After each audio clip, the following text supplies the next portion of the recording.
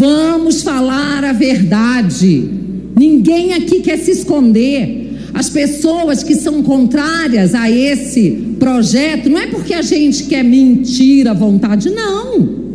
Até porque, né? Infelizmente, né? A verdade é a seguinte: o mundo é cheio de mentiroso e mentira não é crime. Pode ser pecado, pode ser feio, pode ser imoral, mas mentira não é crime. Então estão perseguindo, querendo buscar, caçar mentirosos, é isso? Não é? E nós não estamos atrás de mentira, nós queremos falar a verdade. Nós queremos falar a verdade. E esse projeto, ele não impede, não combate mentiras.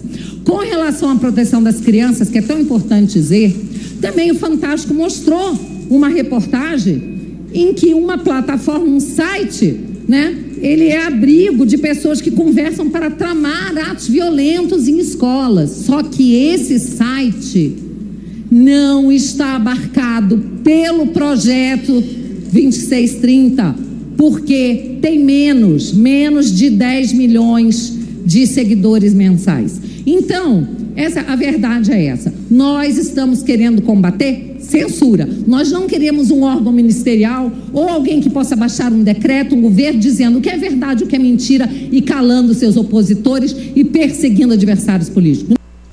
Bom dia, senhoras e senhores. Hoje é 30 de maio de 2024.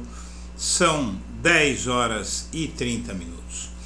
Foi com esse argumento que você acaba de ouvir que o Congresso manteve o veto de Bolsonaro contra o crime de fake news em massa.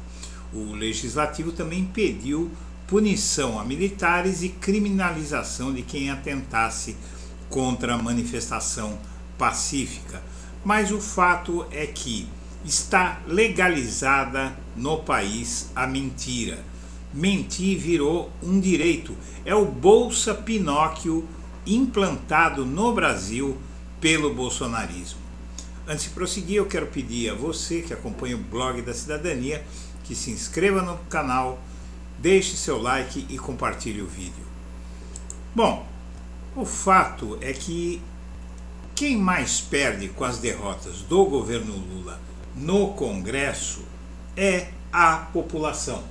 Afinal, quem perde quando o Congresso mais reacionário da história desde o fim da, da ditadura militar acaba com a saída temporária de presos para visitar as famílias em feriados e datas especiais, ou não impede que seja legalizada a fake news através do veto a um projeto que criminaliza as fake news, na verdade o país está perdendo e quem pensa que está ganhando do PT está enganado, porque quem está perdendo é o Brasil nessa história toda. Em 95% dos casos, por exemplo, os criminosos uh, que estão presos, eles estão progredindo, eles estão já trabalhando fora e dormindo à noite na prisão. E eles retornam aos presídios em 95% dos casos. Uma boa parte deles sequer ainda foi julgada.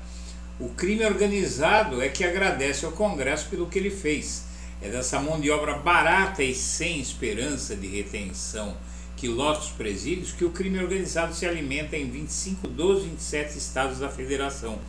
A medida é um incentivo a novas rebeliões com sequestros e mortes de agentes da ordem. Quem perde quando o Congresso, dominado pelo Centrão em aliança com a extrema-direita bolsonarista, aprova o projeto de decreto legislativo que permite a instalação de clubes de tiros a pouca distância das escolas, quem perde é a população. E quem perde quando ele que se, impede que seja criminalizada a distribuição de notícias falsas contra a democracia é a população. Nós vimos de uma forma incrível essa deputada defender a mentira. Ela diz Infelizmente, a verdade é a seguinte: o mundo está cheio de mentirosos e mentir não é crime. Pode ser pecado, pode ser feio, pode ser imoral, mas mentira não é crime. Então, na verdade, está fazendo apologia, uma deputada federal fazendo apologia à mentira no Congresso Nacional, na tribuna do Congresso Nacional, da Câmara dos Deputados.